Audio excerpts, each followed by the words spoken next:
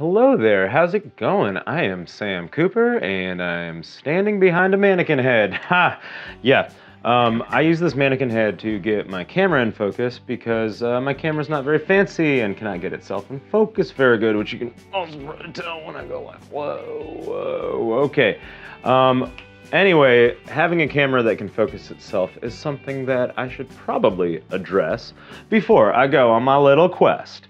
That's right, it's episode two of South by Southwest Quest. Yes, and uh, hey, I'm Sam Cooper. I'm going to South by Southwest in less than a month. Uh, basically, totally indie, totally blind, no connections, no plans.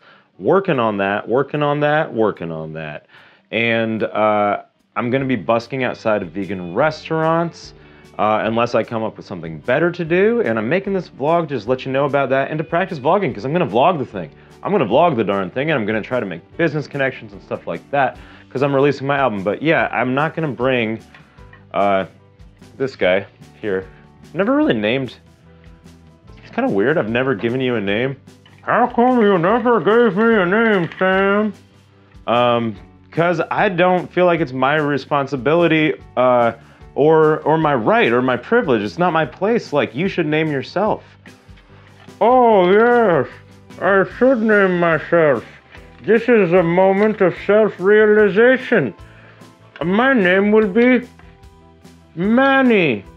Uh, like short for Manuel, short for mannequin. Um, right. Okay. All right, Manny. Okay, this is Manny. Hey, I'm Sam. This is Manny. Manny's not coming to South by Southwest with me. What? I thought I was part of your band. Um, yeah, um, but I couldn't afford an extra plane ticket for you.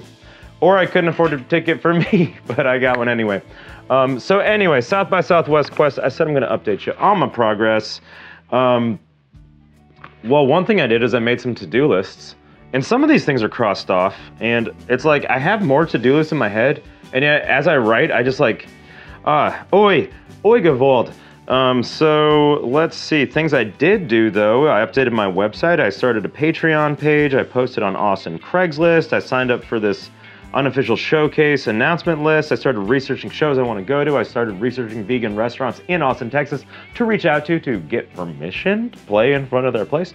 Uh, not that I, uh, well, you know, there's that ask forgiveness, not permission thing, but I'm like, yeah, I get the practicality of that, but it's a little sociopathic.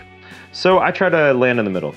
Um, let's see, I decided I need to build a mobile busking kit that I can fit an airplane, uh, so much stuff. So anyway, um, definitely had a few moments where I was like, never mind, let's cancel it, let's cancel that, let's finally get a job working at a gas station because uh, in Portland, Oregon, uh, you can still get that because uh, you can't pump your own gas.